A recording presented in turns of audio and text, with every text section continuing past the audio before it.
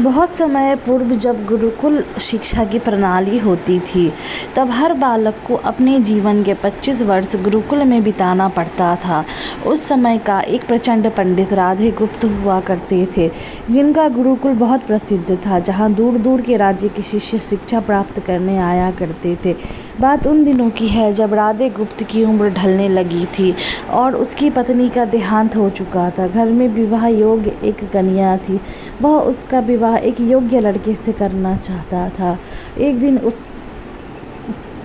उनके मस्तिष्क में एक ख्याल आया और उन्होंने इस परेशानी का हल सोचा कि क्यों ना वो अपने खुद के शिष्य में से ही किसी योग्य वर की तलाश करे। उससे उस उनसे बेहतर उनकी बेटी के लिए और क्या हो सकता है? इस कार्य के लिए उन्होंने बुद्धिमानी की परीक्षा लेने का निर्णय लिया और सभी शिष्यों को एकत्र किया।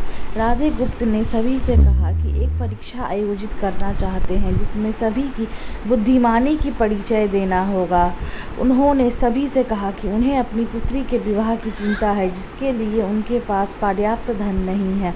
इसलिए वे चाहते हैं कि उनके शिष्य विवाह में लगने वाली सभी सामग्री को किसी तरह से उपाय करें और उन्हें चोरी का रास्ता चुनना पड़े, लेकिन उन्हें चोरी करके उन्हें अपने गुरु की इस परेशानी को हल करना था।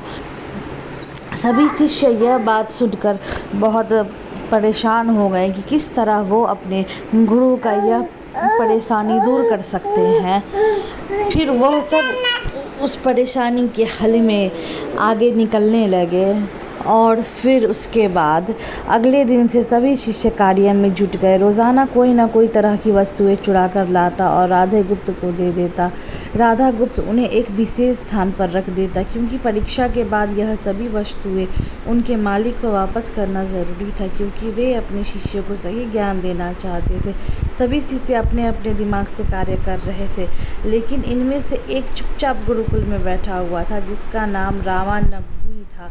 वह राधा गुप्त का सबसे करीबी और होनहार छात्र था। उसे ऐसा बैठा देख राधा गुप्त ने इसका कारण पूछा। तब राम स्वामी ने बताया कि अपने परीक्षा की शर्त स्वरूप में कहा था कि चौड़ी करते वक्त इसे कोई ना देख सके। इस प्रकार अगर हम अकेले में भी चोरी करते हैं, तब भी हमारी अंतरात्मा उसे देख रही होगी। हम खुद से चोरी कैसे कर सकते हैं? तो फिर आप बताइए गुरु, मैं कैसे चोरी कर सकता हूँ? जबकि मैं खुद से खुद के अंतर आत्मा से कोई भी चोरी नहीं कर सकता हूँ। यह बात सुनकर गुरु बहुत प्रसन्न हुए और गुरु ने उसका एक दो और बुद्धिमानी भरे सवाल पूछे, जिन प्रश्नों का उत्तर उसने सही सही और बहुत ही बुद्धिपूर्वक दिया, बहुत ही संयम के साथ दिया। यह देखकर गुरुदेव बहुत ही ज़्यादा प्रसन्न हुए और उन्हें समझ में आ गया कि यही है वो बुद्धिमान व्यक्ति जिसकी तलाश मुझे थी और जो मेरे कन्या के लिए बिल्कुल योग्य पति साबित होगा। और उसके बाद गुरु ने उसे अपने मंशा के बारे में बताया, जिसे जानकर राम स्वामी बहुत ही आश्चर्यचकित हो गया। फिर उसके बाद गुरु ने उसके माता पिता को अपने आश्रम बुलाया। उसके बाद बहुत ही प्रक्रिया स्वरूप दोनों का विवाह संपन्न हुआ और दोनों बहुत ही खुश खुश रहने लगे।